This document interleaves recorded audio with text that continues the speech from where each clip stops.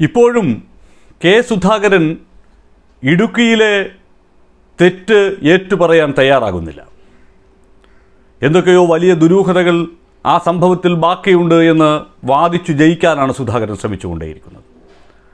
ആ സംഭവത്തെ അപലപിക്കാൻ K P C C president ഈ നിമിഷം വരെയും തയ്യാറാകാതിരിക്കുന്നതും അപലപിക്കാതിരിക്കുന്നതിന് ഒരു അടിസ്ഥാനവുമില്ലാത്ത വാദഗതികൾ നിരത്തുകയും ചെയ്യുന്നത് കാണുമ്പോൾ അവിടെയാണ് സുധാകരനിസം എന്ത് എന്ന് വളരെ കൃത്യമായി വ്യക്തമാകുന്നത്.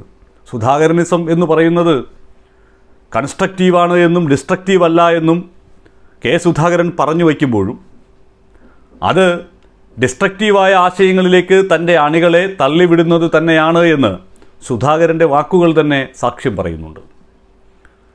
സുധാകരൻ തിരുവനന്തപുരത്ത് നടത്തിയ വാർത്താ സമ്മേളനത്തിൽ ആ കൊലപാതകത്തെ ന്യായീകരിക്കാനുള്ള ശ്രമമാണ് നടത്തുന്നത്. സി പി എം എന്തോ കരുതിക്കൂട്ടി അത്തരമൊരു സംഭവം ആസൂത്രണം ചെയ്ത് ആ ചെറുപ്പക്കാരനെ കുത്തിവീഴ്ത്തുകയായിരുന്നു എന്ന് വരെ പറയാതെ പറഞ്ഞു വെച്ചു സുധാകരൻ. പിന്നിൽ നിന്ന് കുത്തിയെന്ന് മുന്നിലാണ് കുത്തേറ്റതെങ്കിലും സി പി എമ്മുകാർ എസ് എഫ് ഐക്കാർ തന്നെ പിന്നിൽ നിന്ന് കുത്തുന്നവരാണ്.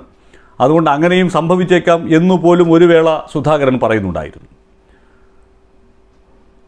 ആ കൊലപാതകത്തെ ന്യായീകരിക്കാൻ കുത്തേറ്റ് ആശുപത്രിയിൽ ചികിത്സയിൽ കഴിയുന്ന മറ്റൊരു എസ് എഫ് ഐ പ്രവർത്തകന്റെ വാക്കുകൾ അടർത്തിയെടുത്ത് സുധാകരൻ അത് ഉയർത്തിക്കാട്ടിയാണ് വാർത്താ സമ്മേളനത്തിൽ ന്യായ ന്യായവാദങ്ങൾ ഉന്നയിച്ചത്. പക്ഷേ അതിനെ ചോദ്യം ചെയ്ത മാധ്യമപ്രവർത്തകർ ആ അഭിമുഖം പൂർണമായി കണ്ടാൽ നിങ്ങൾക്ക് കാര്യം മനസ്സിലാകുമെന്ന് പറയുമ്പോൾ ആ മാധ്യമപ്രവർത്തകരെ കടന്നാക്രമിക്കാനുള്ള ശ്രമമാണ് നടത്തിയത്. അതായത് പിടിവിട്ടുപോയ സുധാകരനെ എവിടെ കാണാം. കേരളീയ സമൂഹത്തിന് മുന്നിൽ ഒരു ഖേദപ്രകടനം കൊണ്ട് ഒരു അപലപിക്കൽ കൊണ്ട് ഒരു തള്ളിപ്പറയൽ കൊണ്ട് കെ സുധാകരൻ എന്ന രാഷ്ട്രീയ നേതാവിന് ഉണ്ടായേക്കാമായിരുന്ന ഔന്നത്യത്തെ മുഴുവൻ ധാർഷ്ട്യം നിറഞ്ഞ നിലപാടുകൊണ്ട് ആ കൊലപാതകത്തിൽ ലവലേശം തങ്ങൾക്ക് പരിഭവം തങ്ങൾക്ക് യാതൊരു തരത്തിലുമുള്ള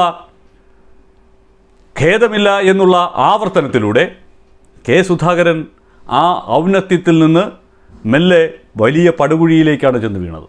ഇപ്പോൾ കോൺഗ്രസിനെ സംബന്ധിച്ചിടത്തോളം സുധാകരൻ വന്നപ്പോൾ ഒരു ഉണർവുണ്ടായിട്ടുണ്ട് എന്നുള്ള കാര്യമൊക്കെ ശരിയാണ് രാഷ്ട്രീയമായി. പക്ഷേ ആ ഉണർവിനപ്പുറത്ത് കേരളത്തിലെ പൊതുസാമാന്യ ബോധത്തിലേക്ക്. സുധാകരന്റെ ഇതുവരെ ഉണ്ടായിരുന്ന ഇമേജിനെ മാറ്റിക്കെട്ടുന്ന തരത്തിലേക്കുള്ള ഒന്നായി മാറാൻ അദ്ദേഹത്തിന്റെ ഈ വിഷയത്തിലുള്ള നമ്മൾ നേരത്തെ പറഞ്ഞ രീതിയിലുള്ള ഖേദപ്രകടനത്തിലൂടെയും അപലപിക്കുന്ന നടപടിയിലൂടെയും ഒക്കെ സാധിക്കുമായിരുന്നു. പക്ഷേ അതിന് തയ്യാറാകാതെ ഈ നിമിഷം വരെയും ആ കൊലപാതകത്തെ ന്യായീകരിക്കാൻ അത് ഇരന്നു വാങ്ങിയത് തന്നെ എന്ന് മറ്റൊരു തരത്തിൽ പറഞ്ഞു വയ്ക്കാൻ എസ് എഫ് ഐക്കാർ ബോധപൂർവം ആ ചെറുപ്പക്കാരനെ കുത്തിക്കൊല്ലുകയായിരുന്നു എന്ന് പറഞ്ഞു വയ്ക്കാനൊക്കെ സുധാകരൻ ശ്രമം നടത്തുമ്പോൾ അതിനുവേണ്ടി പൊറാട്ടു നാടകങ്ങൾ വീഡിയോ രൂപത്തിൽ ഉയർത്തിക്കാട്ടി കളിക്കുമ്പോൾ അത് ലജ്ജാകരം എന്ന് മാത്രമേ പറയാനുള്ളൂ.